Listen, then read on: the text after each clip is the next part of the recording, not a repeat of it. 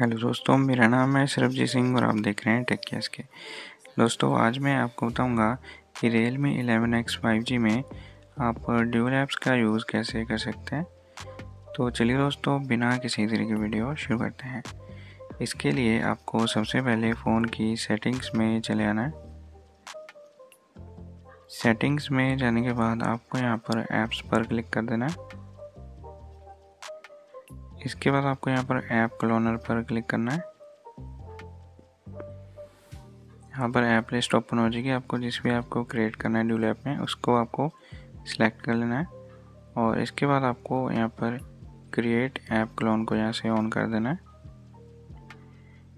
तो आप देख सकते हैं, यहाँ पर लिखा गया एडेड टू होम स्क्रीन तो क्रिएट होने के बाद ऐप आप देख सकते हैं, यहाँ पर आ चुकी है।